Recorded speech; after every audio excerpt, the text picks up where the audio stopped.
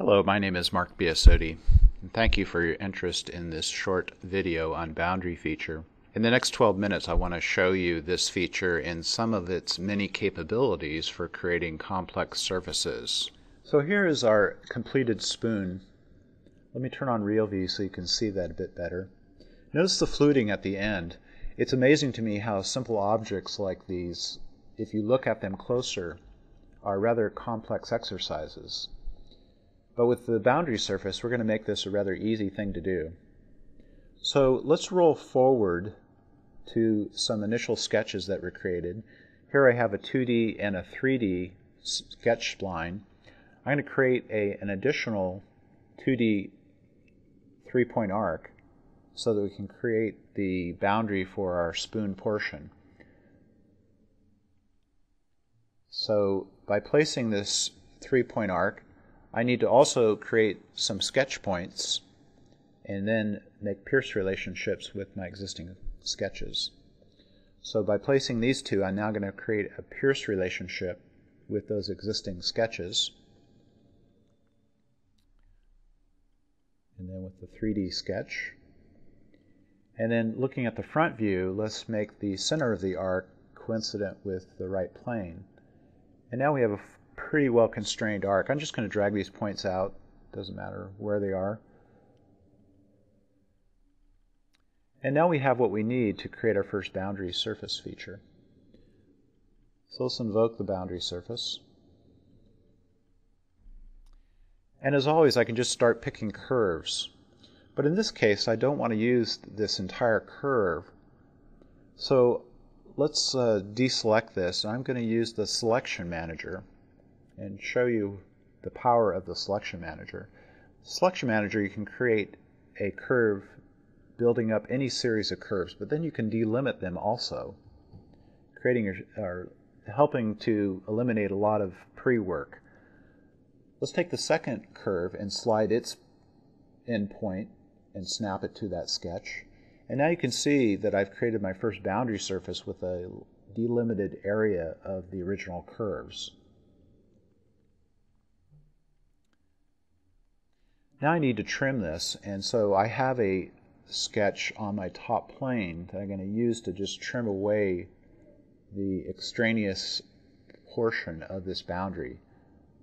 So I'm going to pick this inside area, and now I have a trimmed area that represents the spoon portion of the spoon. Let's roll forward and create the rear handle area. If we look at this end sketch of the handle area, I basically have three splines that have been constrained to construction geometry. And I've done this so that I can easily reshape this area by just dragging my construction geometry and resizing it. Construction geometry is very powerful for doing this in sketches. Let's create the outer boundary of this handle area using a 3D sketch spline. Now with 3D sketch splines, I can start to move them around using my handles or my control polygon. in this case, I'm going to use my sketch triad to move it in specific directions in 3D space, making it a lot easier to reposition.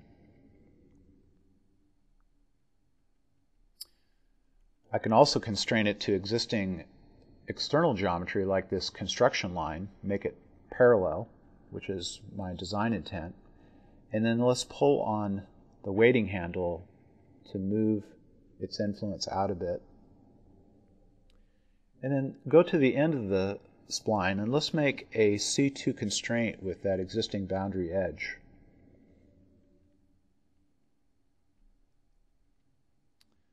And then pull the weighting out a little bit and get it the way I want it. That looks pretty good.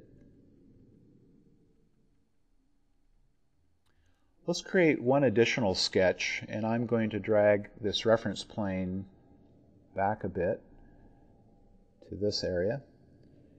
And then on this plane, I'm going to create a three-point arc.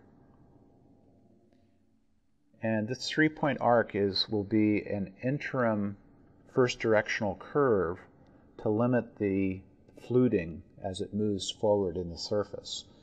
So I just need to constrain or pierce with these existing sketches the endpoints of this arc, make that coincident with the right plane, and then pierce this with that 3D sketch spline. And now I have the ingredients to build my boundary surface. But at the end I have a complex sketch. I'm going to create some reference points on this edge and I'll show you in the boundary surface how I use those to control the surface. Let's go ahead and create our second boundary surface.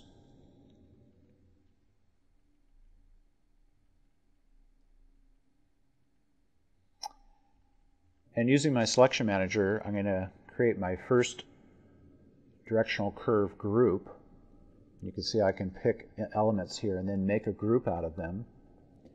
Represents my first direction and then my first direction interim curve and then my third curve for the first direction. And then I'll pick my second directional curves. And now I've defined my boundary surface. But you can see that I need to control that fluting as it goes from the rear to the front. So what I'm going to do is add connectors to go through the surface.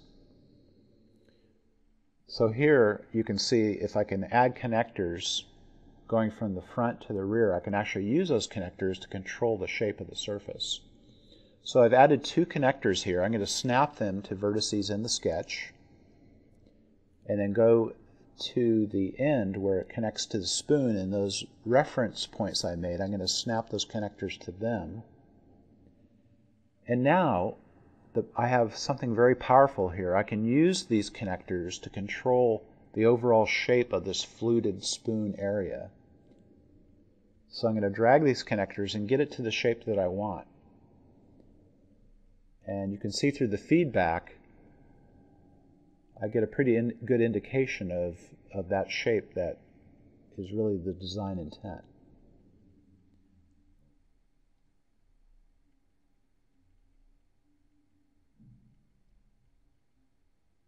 Okay, I think that looks pretty good. So now all we need to do is knit these surfaces together, mirror them, and then make it solid. But before I do that, I see that here in my spoon area, I have a dip. So I'm going to split my screen and then use my dynamic modify to pull on that curve in the first boundary surface and correct this condition. So using my bottom screen portion, I'm going to edit that sketch and then by pulling on it, I'm going to observe in the upper viewport my result. So pulling on the weighting will affect the shape of that surface. And you can see here I've done a fairly good job of flattening it out. There's a little bit of waver here, and if I spend more time on it and add perhaps some more control to that curve, I can get it just right.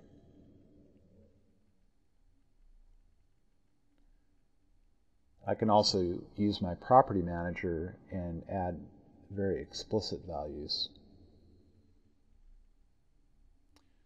and then put some curvature on it and observe if I'm getting a good rate of curvature. Looks like I am.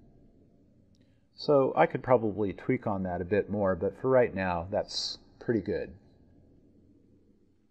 So let's go back to a single view and hide some sketches and then roll forward.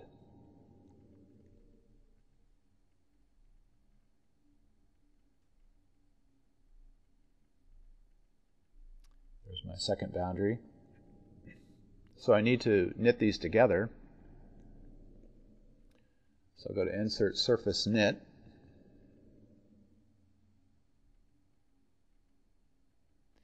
Pick the two surfaces, knit them together, and then take that knitted surface and mirror it across the right plane.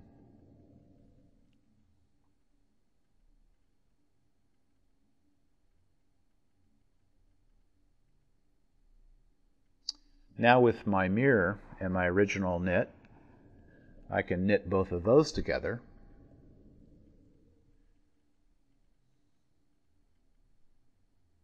And now that I have a single surface body, I can use that to thicken. Let's change the value down to 025. Perhaps make it a little bit thicker. And complete my feature. And now I have my solid model that represents my spoon. Let's add some small radiuses to the edges. Let's hide this sketch first.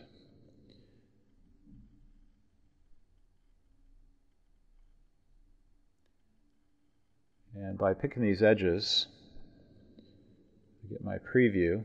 Let's turn my preview off and then pick the other edges, both top and bottom.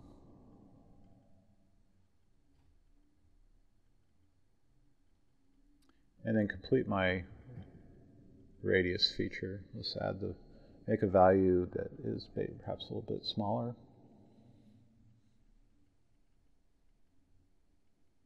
And now I have my radiuses on the edge of the spoon.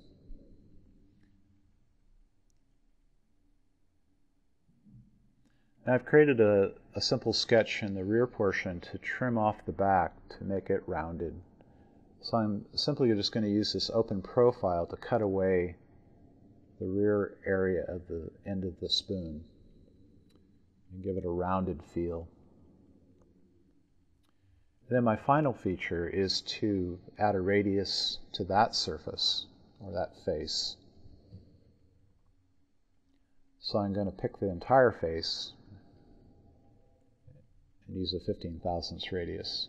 So that completes my exercise for this spoon. You can see how easy it is to use Boundary to make complex objects like this. Thank you for viewing this short demonstration. If you have any questions about Boundary or other SOLIDWORKS features, feel free to visit our website at www.solidworks.com or you can call a local reseller with the numbers that I provided for you on the screen. Thank you.